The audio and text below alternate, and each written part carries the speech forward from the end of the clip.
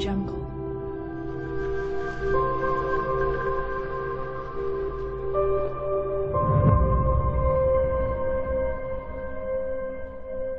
Audio Jungle. 原标题：瑞典不愧为战机强国，四百五十米的降落距离与中国歼十相当，均五次位面。作者：路指开过车的朋友都知道汽车的倒档，但是有没有人想过飞机有没有倒档呢？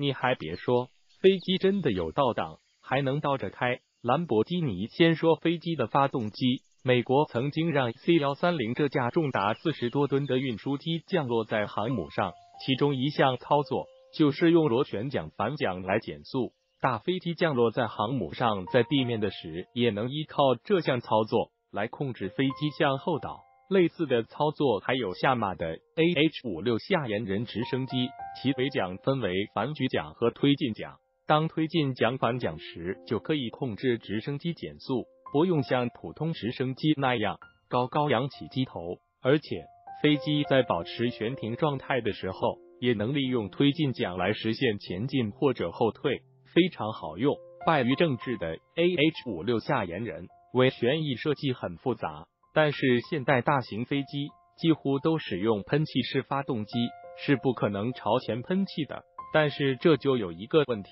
飞机在降落的时候需要制动。要是只凭借气动刹车和机轮刹车，会对机轮造成很严重的磨损，甚至会起火。这也是很多战斗机都携带减速伞的原因。大型客机和运输机通常都有几百吨的体重，减速是个大问题。而且运输机还要考虑缺乏地面支持时的自行移动能力，可不能光往后喷啊！降落时轮胎负荷很大，这就是现在应用非常广泛的反推装置。大致分为棒格式和格栅式。先说比较简单的棒格式，这种反推装置一般由盖在发动机尾部的两片折流板和运动机构组成。飞行时收起来，在降落减速时迅速打开，让发动机的燃气向斜上方喷射，产生向后的反作用力。这种装置非常简单，伊尔七十六和波音七三七等机型都在使用，但是缺点比较明显。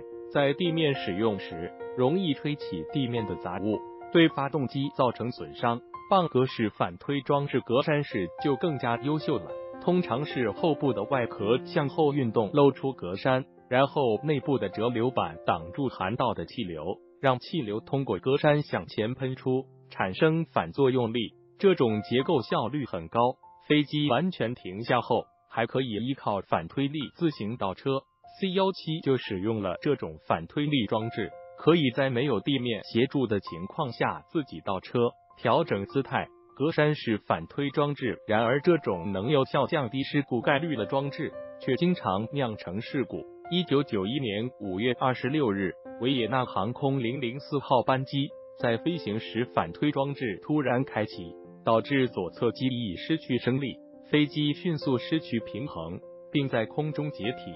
包括机组成员和乘客在内的二百二十三人全部遇难，这是波音七六七自服役以来的第一次空难，也是最严重的空难。后来，波音吸取教训，改进了反推装置的制置机构，以防止在空中飞行时突然开启。反推虽好，但不能乱用，类似的事故非常多。一九八二年二月九日，日本航空三百五十号班机在距离机。场三百米的水面上坠毁。这起事故的原因是机长在空中打开了两台发动机的反推装置，导致机上的二十四名乘客死亡。一九九零年八月二十九日，一架 C 五洲际运输机在德国起飞后坠毁。事故原因是其中一台发动机的反推装置意外打开，机上十七人只有四人生还。一九九六年十月三十一日。巴西天马航空四百零二号班机起飞时，右侧发动机的反推装置在无人操作的情况下突然打开，飞机失控撞向机场跑道末端的住宅区，造成全机九十六人及地面三人丧生。以上都是因为意外打开造成的事故，但是还有因为打开太晚造成的事故。一九九三年十一月四日，中华航空六百零五号班机在香港着陆后。因为飞行员错误的把发动机的推力控制杆当做反推控制杆向前推，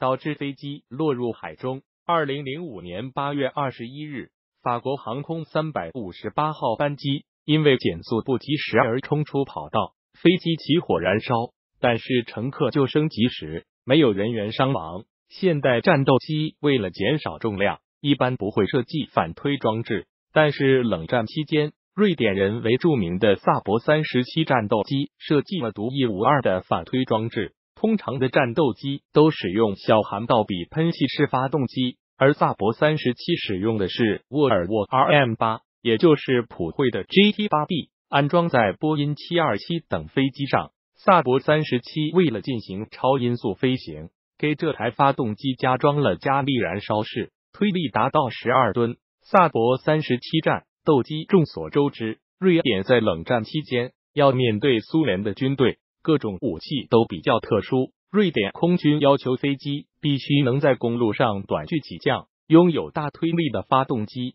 短距起飞不是个什么事，但是短距起降比较麻烦。公路起降的 JAS 三九战斗机为了实现短距降落，萨博三十七的尾喷管内有三块伸缩挡板。降落后，三块挡板会在起落架压缩的时候自动伸出，使燃气沿着挡板从发动机尾喷管管壁圆周分布的三条缝中向前喷出，从而产生反推力。下图中挡板处于反推状态，这架飞机的起飞距离为四百米。现代战机开个加力基本都能做到，但是四百五十米的降落距离可就没几个飞机能做到了。正因为这些奇怪但又天马行空的设计。让瑞典战斗机在强手如林的世界战机家族里独树一帜，而且性能还不弱，很值得其他国家学习。更多有趣好玩的军事文章、视频、图片、电影、游戏，请关注“军武自卫面”微